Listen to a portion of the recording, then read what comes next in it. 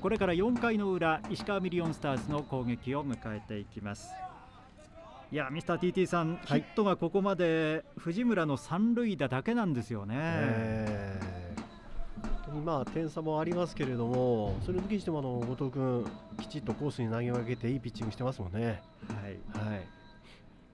後藤投手中央大学から今シーズン福井に入団です変化球できました。ストライクいいコースに入りました。今日初めて投げたボールですね。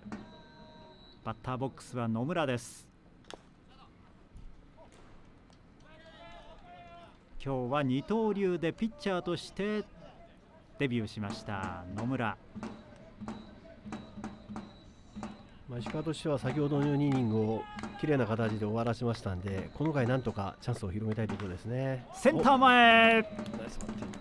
今日2本目のヒットは野村です。